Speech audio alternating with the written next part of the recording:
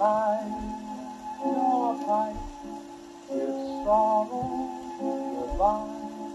Blow the smoke from your altar of dreams and read the face of your dream girl there. The love that is just what it seems.